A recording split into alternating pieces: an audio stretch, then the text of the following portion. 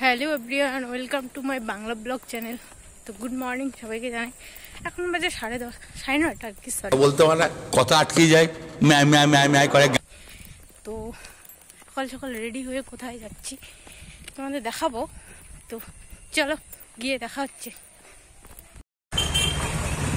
আমরা এখন ধূপগুড়িতে আমি আর আমার একটা বান্ধবী। দেখা মুখটা একটু ইস কিছু বল। ইচ্ছা নাই। টেনশনে আছে টেনশনে দাদা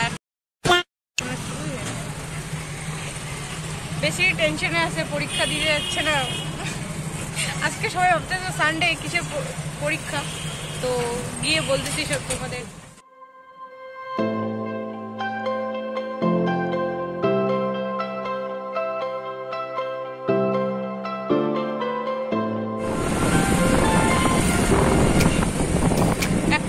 মধ্যে আমরা দুজনে তাহলে কত বড় ব্যাপার না বল?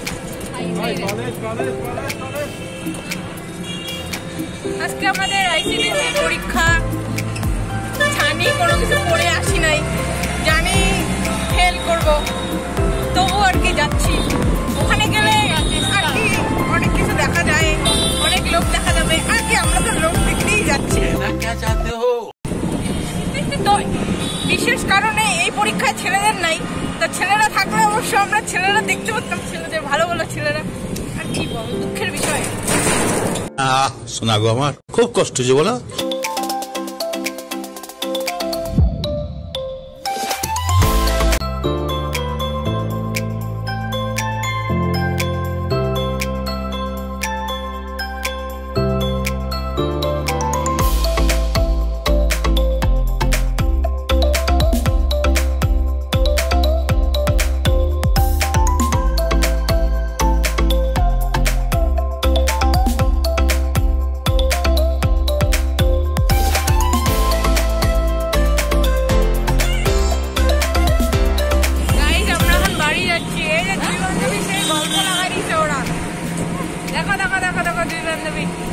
বান্ধবী তো ছেড়ে চলে যাবে এখন।